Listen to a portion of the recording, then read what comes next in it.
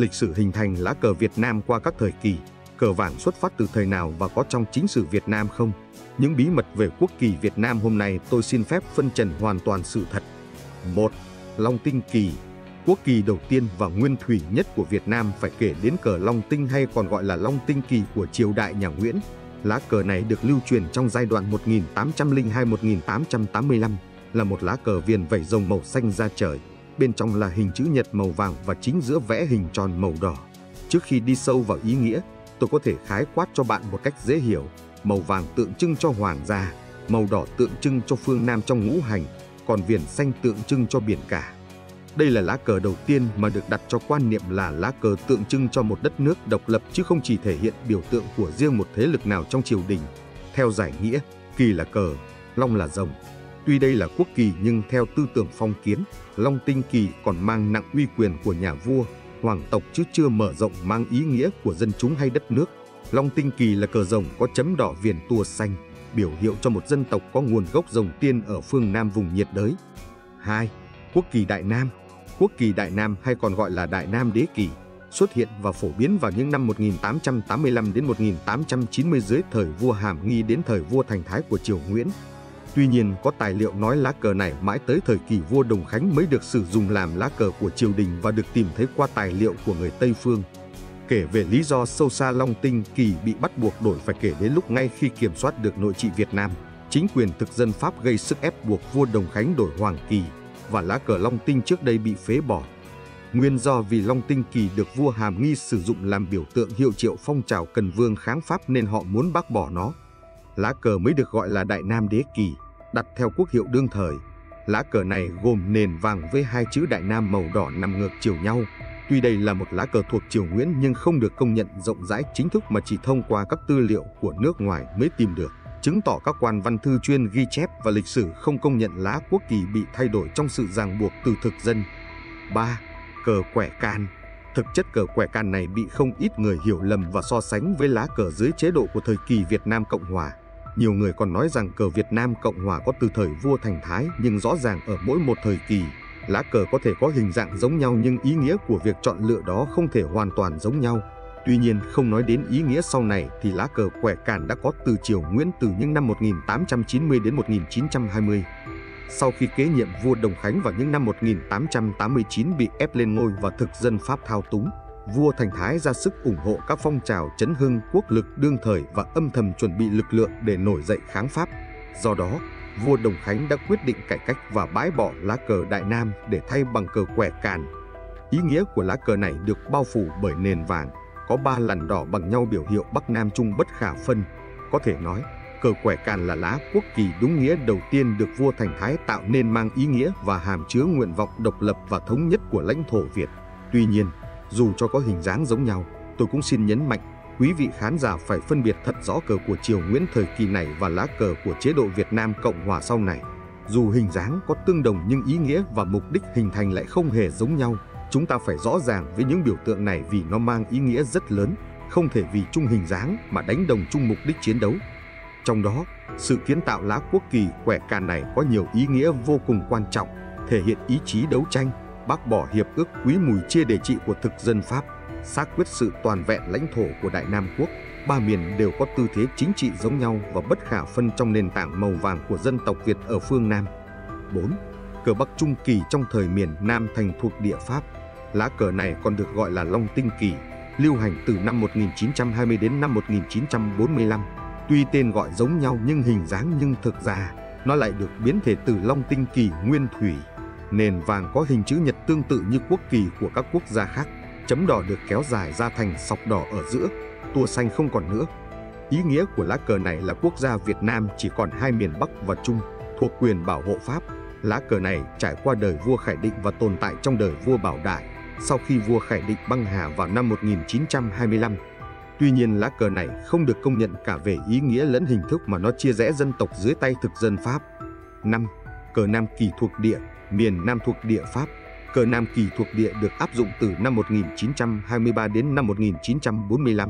Cờ có nền vàng và màu xanh trắng đỏ nằm trên góc trái. Trong thời kỳ Pháp thuộc, Chính quyền bảo hộ Pháp trên toàn liên bang Đông Dương đều sử dụng lá cờ có nền vàng và ở góc trái trên cao là hình quốc kỳ Pháp đến khi Pháp bị Nhật lật đổ vào 10 tháng 3 năm 1945. Tất nhiên lá cờ này không được công nhận là một quốc kỳ chính thức trong thời kỳ của Việt Nam. Tôi chỉ đơn thuần giới thiệu nó là một lá cờ của thực dân áp đặt lên các nước Đông Dương thuộc địa. 6. Long Tinh Kỳ Long Tinh Kỳ hay Long Tinh Đế Kỳ ra đời trong thời Nhật chiếm Đông Dương, được áp dụng từ tháng 3 năm 1945 đến tháng 8 năm 1945. Lá cờ này có nền vàng, sọc đỏ có kích thước bằng 1 phần 3 cờ. Long tinh kỳ này có hình dạng giống với hình dạng long tinh kỳ thời miền Nam thành thuộc địa Pháp nhưng có màu nền đậm hơn và sọc đỏ thu hẹp lại. Một ngày sau khi Nhật đảo chính Pháp, vua Bảo Đại đăng đàn tại Huế tuyên bố hủy bỏ hòa ước Quý Mùi 1883 và Giáp Thân 1884 và ủy nhiệm cho học giả Trần Trọng Kim thành lập chính phủ. Sau đó, vua Bảo Đại phân định cho Long Tinh Kỳ trở lại cương vị của đế kỳ, chỉ treo nơi Hoàng thành Huế hoặc mang theo những nơi vua tuần du. 7 cờ quẻ ly của quốc gia Việt Nam trong thời Nhật chiếm Đông Dương. Cờ quẻ ly thời này kéo dài từ 11 tháng 3 đến 5 tháng 9 năm 1945. Về sự ra đời của lá cờ này, Thủ tướng Trần Trọng Kim của chế độ cũ đã viết một bản đề nghị lên vua Bảo Đại đổi cờ hiệu để biểu trưng cho quốc gia trong chế độ quân chủ. Bảo Đại ký sắc lệnh chấp thuận và sáng tạo ra một quốc kỳ mới. Đó là lá cờ có nền vàng tương tự như Long Tinh Đế Kỳ nhưng vạch đỏ được chia làm ba vạch nhỏ bằng nhau. Riêng vạch giữa thì đứt khoảng tương tự như quẻ ly, một quẻ trong bát quái. 8. Cờ đỏ sao vàng của chính phủ cách mạng lâm thời Việt Nam Dân Chủ Cộng Hòa. Đây là cờ của mặt trận Việt Minh, ra đời vào năm tháng 9 năm 1945 đến ngày 20 tháng 12 năm 1946. Lá cờ này có phần tương đồng với cờ của nước Cộng hòa xã hội chủ nghĩa Việt Nam hiện nay. Tuy nhiên, nền cờ của mặt trận Việt Minh có nền đỏ, sao vàng, cạnh sao hơi cong. Ngày 5 tháng 9 năm 45, Chủ tịch Hồ Chí Minh ký sắc lệnh số 5 dùng cờ Việt Minh làm quốc kỳ, thay thế cờ quẻ ly. 9. Cờ vàng ba sọc đỏ của quốc gia Việt Nam và Việt Nam Cộng Hòa. Đây là lá cờ gây ra nhiều tranh cãi nhất từ trước đến giờ vì nó tượng trưng cho chế độ Việt Nam Cộng Hòa cũ. Thực ra, cờ ba sọc đã có từ thời Bảo Đại năm 1949 trong chế độ quốc gia Việt Nam. Tuy nhiên, lá cờ này lại không được đất nước Việt Nam hiện tại thừa nhận là quốc kỳ của quốc gia trong quá khứ. Nguyên nhân theo tôi cũng khá dễ hiểu chỉ là quan điểm của mỗi người có đồng tình hay không mà thôi. Trong suốt quá trình bảo đại thoái vị rồi được thực dân thuê để làm một công cụ hình người khống chế đất nước, ông không hề có một hành động thiết thực nào giúp quốc gia chống Nhật hay Pháp, cho nên cái gọi là quốc kỳ của đất nước ông lập ra không một ai công nhận.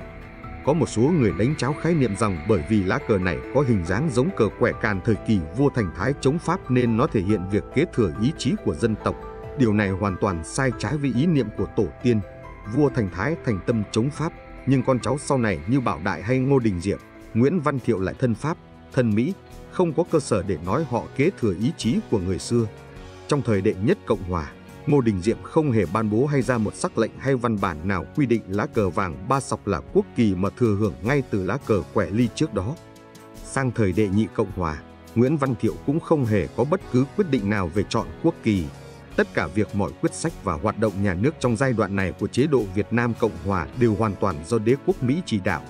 Theo Hiệp định Geneva, Việt Nam chỉ tạm thời bị chia cắt làm hai miền, giới tuyến quân sự chỉ là tạm thời và không phải là biên giới quốc gia.